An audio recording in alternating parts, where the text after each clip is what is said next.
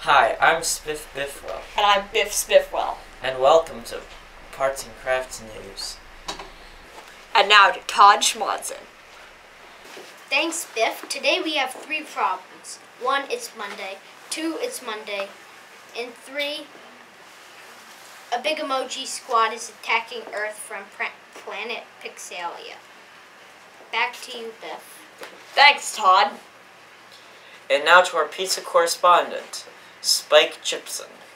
Thanks, Biff. And now for the most amazing facts about pizza. Thanks, Bear. A portal has recently opened up in the middle of Times Square in New York City. After being open for just one hour, the only thing observed coming out was a single slug. Now, quarantined by the. The only thing seen go in was some college student. And now a special call from Josh. Uh, hi. Thanks, Josh. And now to a weather report with Schmarshmallow. It's Monday. Thanks, Schmarshmallow. And now to special correspondent, Chip Spikeson. Thanks, Biff.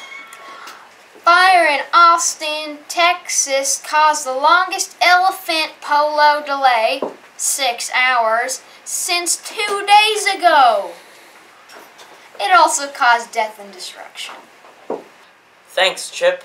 I'm Spiff, I'm Biff. and, And this this has is been P- PNC PNC News. Bear!